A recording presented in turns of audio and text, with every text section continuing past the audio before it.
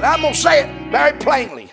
I'm 53 years old. Some of you are a lot older than I am, and we're all going to meet God one day, and no man is going to stand before God. And I'm going to tell you, you don't ever want to, but you'll never stand before God and ever brag on one thing you have done.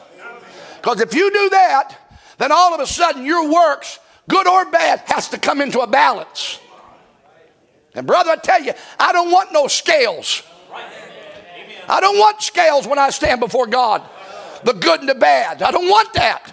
I don't want no scale at all. All I want is a cross. I want to stand there and be a cross between me and Him. I want blood between me and God. I'm afraid if there was a balance, eh, I would hear something like this. That weighed in the balances and come up wanting. That's the only thing I want between me and God is a bloody sacrifice. Where that when he looks down upon Luke Gibson or anybody else, he doesn't see us. All he sees is his blood. And he looks through that red blood and he sees a man standing, though his sins be as scarlet, they're white as snow. I'm not sitting on this church tonight is a snow of blood that cleansed the church, made us white in the presence of God.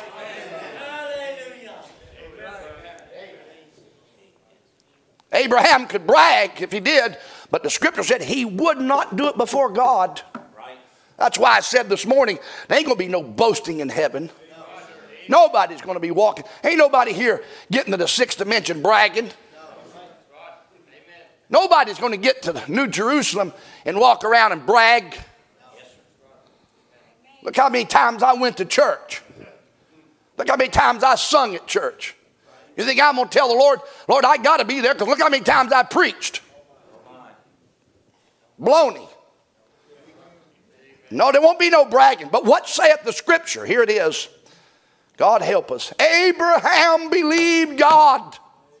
Do you know, Brother Branham, I read it today. He said, on the same basis that God saved you, he can heal you.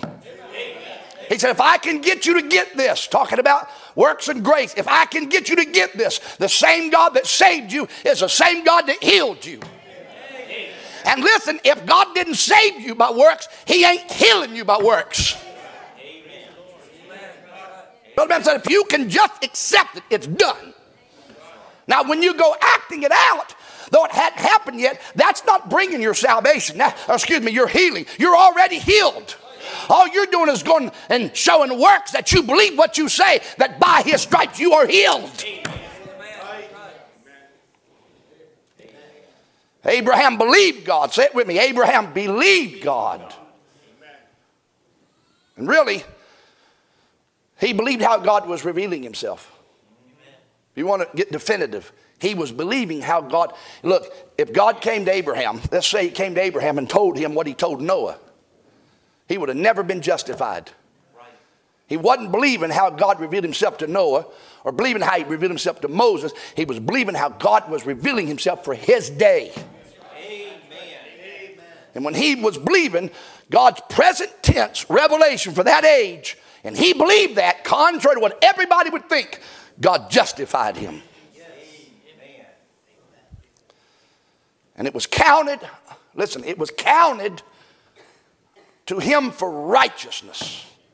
Think about how powerful that is for a second. Abraham believed and God said, You are righteous. Amen. You are justified.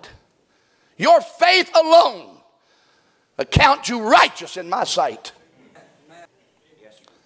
Now, I'll show you. He wasn't always a good boy after that.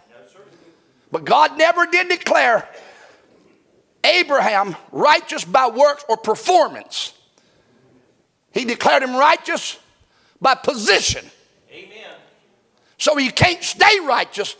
If you're declared righteous by position, your performance never comes into equation whether you're righteous or not righteous. Right. Amen. I know that's hard, but I'm telling you, like I tell the brother for service, don't put the elect in the category of everybody else. Right. Amen. She's different. You say, How different? I'll tell you how different. Try to do what everybody else is doing and see what happens. You'll face the hand of God. Why would He do that to me? Not because you're His. There's kids in here that could do what other kids could do, and I wouldn't say a thing about it. That's their business. but I would correct my own. And as many as God loves, Brother Branham, in his Brother Branham's words, elective love. Mm-hmm. He said God's love is elective. Amen. He sets his love on you. And when he does, then you're his. And then when you're his, now there comes an accountability to him and his love. Well, I, will just do what I look. You can, you can, but that don't mean you're gonna get away with it. God could take you out of here, and your bad deed may shorten your life, but won't change your position. That's why Brother said 99% of Branham Tabernacles legalist. Because you think if you make a mistake, you lose it. I don't mean I want to make mistakes. I'm just telling you, our salvation but is more secure than one mistake. I'll even go further. Our salvation is more secure than two mistakes. Shall I go on? It's more secure than three mistakes. It's more secure than me falling seven times a day. A righteous man gets back up. You know how many times God forgive him? Every time he gets up. Now, I do believe God gives you overcoming power, and that's not my point. I'm just telling you, when it comes down to it, you ain't saved by works, you never were saved by works, and you don't stay saved by works.